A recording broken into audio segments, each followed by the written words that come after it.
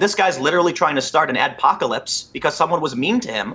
Now we're all going to lose money just because he doesn't like you. Get in line.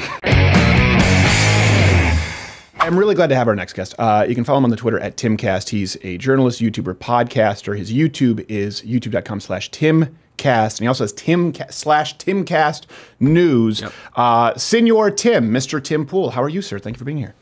Pretty good. Yeah, thanks for having me. Appreciate it. Thank you. I and I appreciate that Tim Pool level of enthusiasm as to how well you're pretty good. I'm okay. Yeah, yeah, yeah. Rather, I've, been, I've been called a milk toast fence sitter.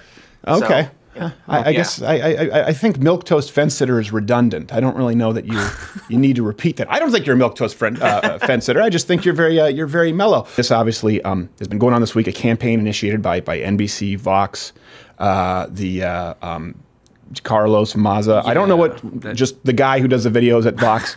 uh, an, an, active effort to get our channel deplatformed, uh, even tweeting that people should go mass flag our videos. Let me ask you, you've, you've, talked about sort of with Twitter, I remember on Joe Rogan's show, and it was great. I highly recommend people go check out that show. Yeah. Um, you've talked about this, and we appreciate this, the support that you've you've given this channel uh, in regards to this controversy. How, how, common is this sort of flagging, banning campaign, or, or, or really, what would you say is if people need to understand the dynamics of what's going on right now? Because it's easy to feel like you're drinking from a fire hose when it comes to sort of corporate yeah, censorship, yeah. silencing. What would you really want to drill into people? There's a very, very simple fact you can tell people to prove 100% the social media platforms are biased against conservatives and it's their misgendering policy. Progressives are a very are, are, progressives don't represent the entirety of the left, according to the Hidden Tribes report by a group I believe it's called a group called More in Common. Progressive activists in the U.S. are eight percent of the country. It's these people primarily who who view the misgendering thing the way Twitter does. That if someone decides to have a preferred pronoun, you have to use it, otherwise you can be banned. Conservatives tend to disagree you know, the majority, I would say. I mean, Ben Shapiro is much, much opposed to way more than just the idea of misgendering, but you know, in terms of the trans debate, women, uh, com- uh, yeah. trans women competing in sports. He almost got if, headlocked by an angry transgender for doing yeah. it. Yeah. Um, that, was that on that show where they? Th- she's, the yeah, Dr. Drew was Zoe Zoey Tur, who threatened to put him in home in an ambulance. yeah. Horrible, horrible so, experience. It's, it plays no role in political discourse, but wildly right. entertaining. Yeah. So, so just look at the rules, and and I told this to Jack Dorsey, full stop you are biased against conservatives. And he didn't understand this. I said, listen, if a conservative doesn't believe you're, you know, in misgendering the way you do, you have an ideological difference where you're enforcing rules based on your personal ideology. He went on to say, well, we have studies we've read that show the suicide rate is higher, therefore we're trying to protect them. And I asked, what about, you know, d- general body dysmorphia? Are, you know, at what point do you draw a line and say this group should or shouldn't be protected? Right. You know, can you not make fun of depression because people who are depressed have the highest rate of suicide? That's literally, you know, par- particularly. Actually, it's not higher than transgenders. That's actually something that's. Oh, that's, it's not. No, it's not. It's actually not. Oh, there, wow. There's no other demographic that I know to be as high outside of, from what I understand, like paranoid schizophrenics. Even Ben Shapiro's made this point. American slaves didn't have nearly as high of an attempted suicide rate. If I'm not mistaken, it's about 41, yeah. 42%, yeah, 41. both pre and post op, by the way. So um, this idea that it's societally sort of based oppression it just doesn't bear out. But yeah, it's actually a higher rate than than those who would be considered like even manic depressive. That, that, I would say that's the easiest thing you can say, right? It's it's not a debate. You point that out, and people are going to go, "Oh, I guess you're right." Now, the people on the left, the progressives, say, "So what you're saying is that conservatives are mad they can't misgender people?" And it's like, well, hold on. They view misgendered in an, in an inverse way. They believe that if someone is biologically male and you say she, you have misgendered them, right? right? So it's literally just you, I don't know how you rectify that. There's two different ideologies here and only one it's only enforced in one direction. Yeah. Right. Right? Yeah. That is a great that is a great point. point and also this idea of i think you see it sort of to get back to this nbc vox thing. Let me ask you this. Have you ever seen people on the right or people like i know that i've never done this but how common is it to see people on the right to encourage mass flagging and removals of points of view they disagree with? I'm not familiar it with it happens but it's extremely extremely rare right and so you know this is another thing that puts me kind of more on your side in an issue like this i get people tweeting at me saying, "Oh, here comes Tim to defend the conservative." I'm like, "Well, Steven Crowder isn't calling for someone to have their career destroyed simply because they said something mean on the internet." Right. You know, in fact, you've actually told people not to dox, not to harass. So it's kind of like you can't have Carlos Maza advocating for throwing milkshakes at people to humiliate them and then complaining about someone saying mean words that humiliates him. Right. I mean, we're yeah, fairness. One, one is an. act. By the way, throwing a milkshake at someone is is actually assault. Yeah, that legally. is. It is. It is legally assault. Yeah, actually, you're right. It's further than assault. It's actually battery. Um, and people who say, "Well, milkshakes haven't really hurt you," actually, that's not true. People can put anything in a milkshake. First off, people can hide something heavy in there and whip it at you. People can put acid in there. Um, and uh, I've always said, uh, I've always condemned doxing because I was doxed at one point. I am actually on the ISIS kill list. It's not people That's saying correct. mean things. I've been in communication with the FBI. Yeah. Not only that, there's so many people on the FBI kill list. When I spoke with people at the FBI, they're like, eh, almost everyone makes that list. Like, but there is an ultra premium list, sort of the elite flyers club. They're like, and you're at the top of that. VIP So list. here's our number. um, I've always actively discouraged it. I never want any uh, physical vi- violence. And that was another thing Jack Dorsey spoke with you about: physical safety. Whether it's doxing, whether it's milkshaking, uh, but this this idea that mass flagging and reporting something to get it removed, um, it Oh, really I, is, I got. yeah. oh, I, I can. I, I got one better for you. Okay. One of one of the there's, there's a body of journalistic ethics from this uh, the Society for Professional Journalists. If you go to J school, you probably know this, but apparently these people who work at Vox don't. It's called minimize harm. When you when you when you seek to do a story, if if revealing information about your subject would cause them harm, you do your best to avoid that. Which means, if I heard that a group of people who were very very awful and dangerous were using a certain company I would reach out to the company without naming them because it's not my position as a journalist to cause harm to them or anyone. More importantly, to interfere in the story and make the story, you know, change the story as a result of my actions. When a journalist goes down to cover something on the ground, you should not be putting your body in the way to change what happens. You're trying to tell people what happens, not cause the reaction. Right. However, what happens now is I actually have evidence of this. Uh, I, re- I received some leaked documents. We'll see what I, if, if I can do anything with it.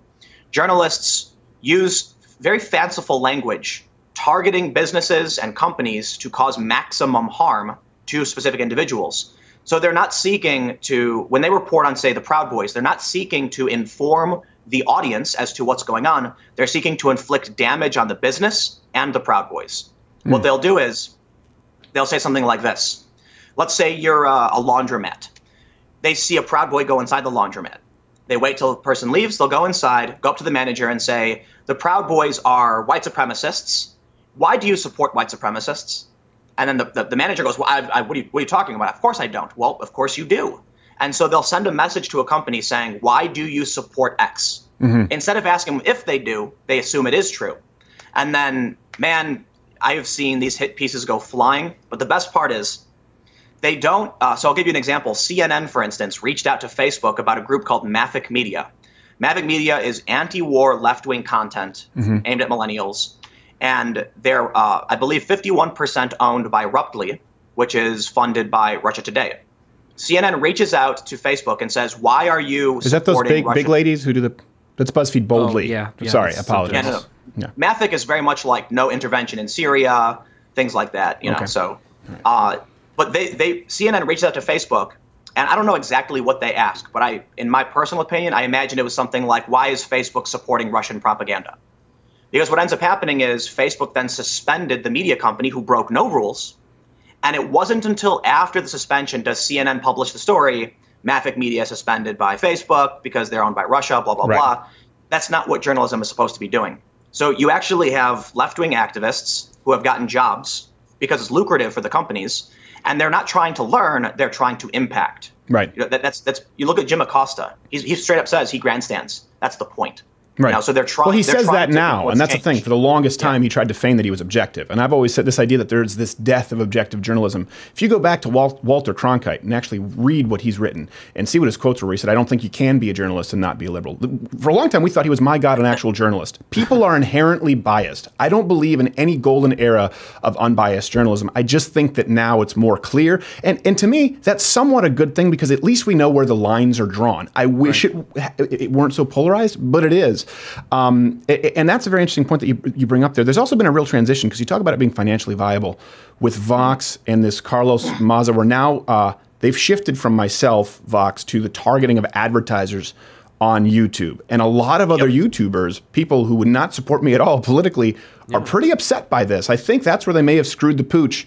Um, have you been following this, and is this kind of a common tactic? Yeah, yes. So the the video I, I have earlier today kind of talks about how Carlos Maza, in his interview with AM2 uh, AM2DM, I think it's called on BuzzFeed, he said he he gets to the point where he talks about how you know you're harassing all that stuff, but then says, you know what, it's not you, it's that YouTube is distracting the advertisers from the fact that they can't control their platform and their advertisements appear on you know hateful, bigoted, homophobic content, et cetera, et cetera. And I saw a tweet from Keemstar, who does drama alert on YouTube. It's like YouTube culture stuff. And he said, This guy's literally trying to start an adpocalypse because someone was mean to him. Now we're all going to lose money just because he doesn't like you. Yeah. So this, this is what I find Get in line. Look, digital media has been hurting, right? Uh, Vice, literally right now, I just pulled up a story. Vice just fired two of its longtime editors, someone who's been with the company for 10 years. They've had layoffs. CNN just laid off their London staff. CNN just put their freelance, their contractors on a net 90. Yeah. That means if you work for them, they won't pay you for three months. That's financing mm. your staff. That's crazy. Right. So, so, a lot of these companies are hurting. All of a sudden, very conveniently, you know, uh, a story came out from Vox not a couple weeks ago where they acknowledge their evaluation is probably down from their initial investment. We just saw a story where Vox is now switching to freelancers and part timers which to many is indicative of them hurting. We don't, I, I don't, I don't want to accuse Vox of failing or anything like that. But then all of a sudden, Carlos Maza comes out. You've criticized him before, but it's now. It's now that, and then he he advances his argument to talk about advertisers instead of you, and he's right. using his identity to hmm. target the platform as a whole, accusing it of being an alt-right haven. I find it I find it fascinating that he's playing the victim here, that he's the, the little guy being oppressed when he actually is one of the most prominent figures on a, a channel with with you know what's uh, forty. Well, and keep, keep in mind too, this is also one thing you talked about. Like we have you know close to four million, they have close to six million. But the very 1st mm-hmm. Vox rebuttal that we've done, which by the way include on average, I think about eight to twelve times the yeah. sources that are publicly listed that Vox oh, yeah. never does than yeah. they than, than they do. Um, we might have had less than half a million subscribers. Oh, so oh, it's not like we were right. punching down. We were going after the biggest channel because we're going. Hold on a second, they support the right. Australian gun buyback. We're going to rebut that. And again, hours and hours of content. People need to know a tossed in aside of lispy gay yeah. Latino from Jokes. Vox. If people want to watch the videos in their entirety, listen, we can have the conversation that conservatives shouldn't be allowed to do comedy. I didn't call him a holster. I didn't call him a feckless. Yeah. I think it was positively tame. That's just my opinion, but it's no, there, there's no doubt that there's a, subs, uh, a substantial rebuttal to the arguments made over there at Vox. And by the way, we've done it with Vox when it wasn't this guy. We did it when it was that Ezra Klein guy and yep. Vice. It's about 1% of our content. So that's what bothers me is, is the dishonesty in people taking something that's been going on for a long time when we were a channel that was very small and uh, actually really punching back at the bully. Right. So, so here's the way I kind of see it. Uh, when it comes to political discourse, I discourage mockery, name calling, whatever. However, Sure. I recognize you're a comedian, you're not a journalist. You know, when, when Tucker Carlson called Brian Stelter a eunuch, I, I pushed back on that in several videos, like, I do not think that's appropriate. In, in your instance, you're right. You know, feckless comments, um, pollster and things like that have been done. We've seen way more egregious stuff on the left, but it's not about uh, a tit for tat. It's kind of uh, Jon Stewart, Trevor Noah, John Oliver, they routinely mock and, and, and target people at or above their level. Sure. And Carlos Maza gets a million views per video. He's not some random nobody small guy being punched down. Yeah. You're a guy who's mocking him and doing a comedy bit. If, if he was if he was a private citizen that and you know and he posted a, a, a video of Nancy Pelosi, I'd have some criticism for you, but he's not. Right. He's yeah. a very he's he's I would I would argue he's extremely powerful with nearly with nearly hundred thousand subscribers a million views per video, having access to six million subs in a, in a company that's funded to the tune of two hundred million dollars by NBC. It's my understanding. Yeah, that's so just that's not, just the NBC Universal investment. Yeah, that doesn't include any right. of the other investors, which is why I wonder, like, how did you lose all this money? how, where did it go? I mean, 200 million. What? How many? How many strike throughs are you guys doing? We only see one every two weeks. Yeah. Um, it is. It is really remarkable. Uh, but uh, yeah, I, I think um, also people hopefully know, you know, when we do a change my mind, or even if you look at the leftists who we've had in this show, we've uh, I've uh, had conversation with or debated, and it's gotten heated from Naomi Wolf yeah. to Sally Kohn to mm-hmm. Christopher Titus to the guy from Think Progress, the guy from Slate or Salon. I've never insulted them. There's a difference when you are doing a bit and you're talking with someone, and I've yeah. always tried to delineate because I, listen. I really the last thing I would ever want is to pick on someone and be rude to them in person when they've uh, given, uh, you know, done me the courtesy of, of appearing on the program. I feel like uh, I've made I've made several videos. So my, my, second channel, which is the Timcast News one, where I regularly talk about fairness and rights. I made a video recently. You have no rights. The world is cruel and unfair. And I talked about the woman in Hawaii who fell 20 feet, broke her leg, and had to drag herself to the stream and eat moths and drink dirty water to survive. I'd like to, I'd like to ask many of the progressives where was her, her right to health care? Is there is there is there anyone who's well, she certainly had a right to speech, defense, freedom of movement, etc.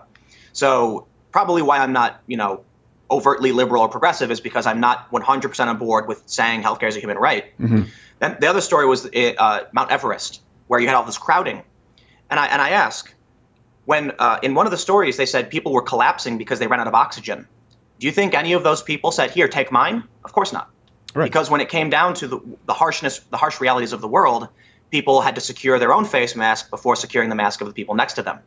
So I see someone like Carlos Maza who calls for physical attacks on people. It's a milkshake. I think it's really low level, but still, you're, you're saying make physical contact with another person in violation of their autonomy. That's, that's an egregious violation. But then he gets mad that someone said mean words to him. And so here's where I end up. Do I, do I think we get anywhere with mockery and, and insults? Of course not. I think it's detrimental. However, people call me things all day, every day, and I'm an adult.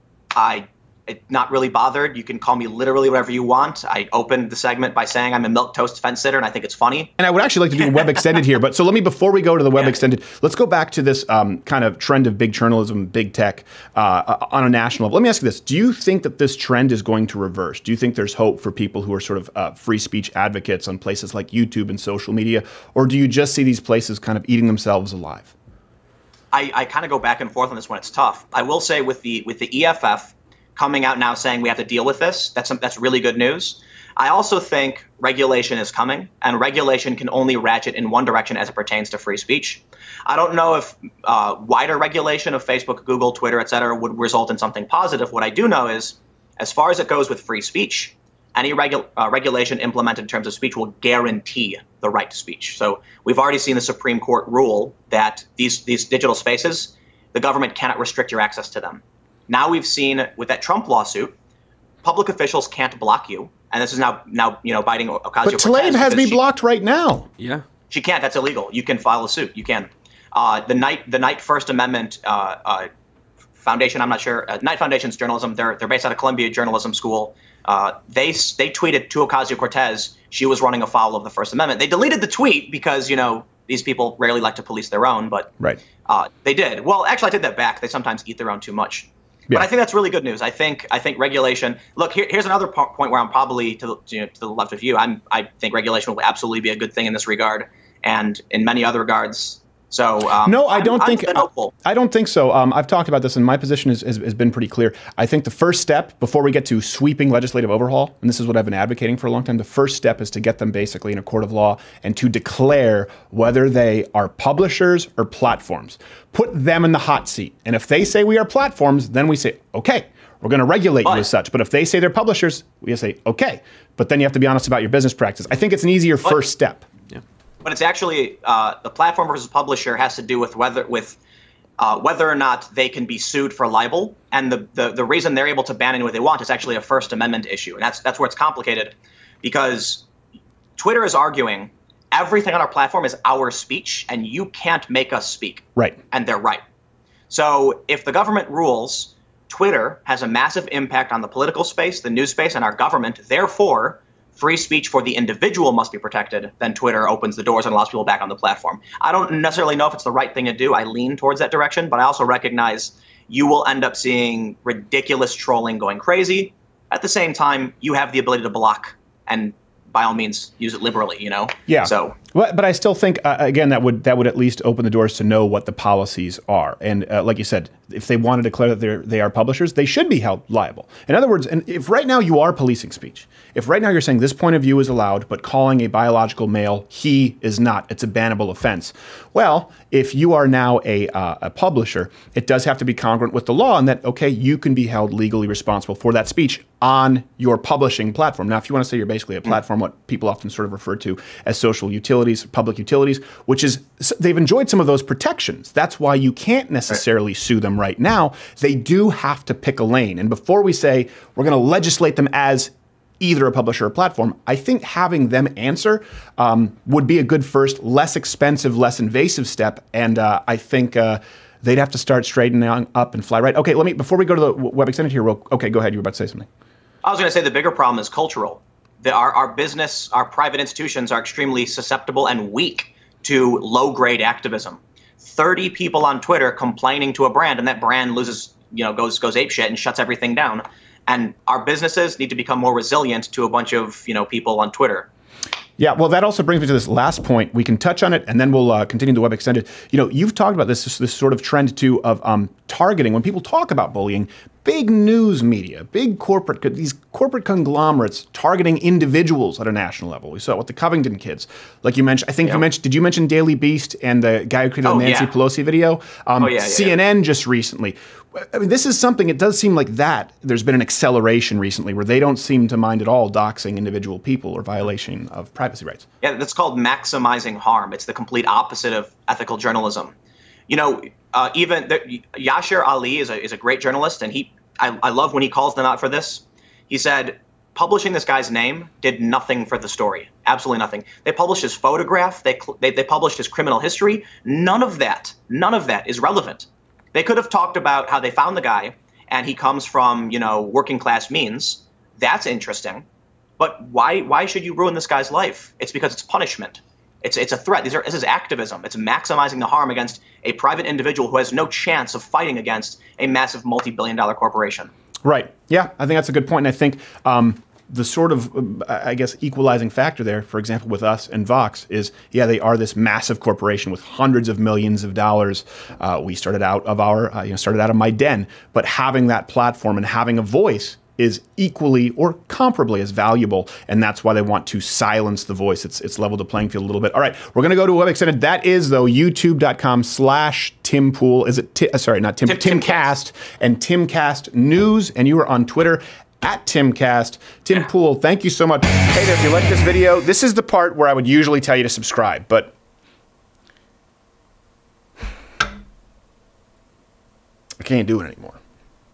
I'm going to tell you to subscribe, and then YouTube is going to decide that we can't reach you even though you subscribe to this channel, and then I'll say hit the notification bell, and then the notification bell won't even be there anymore. I don't know what to say more than likely you'll find my face in a milk carton. But do what you can to stop it. It's just it's just it probably won't do much.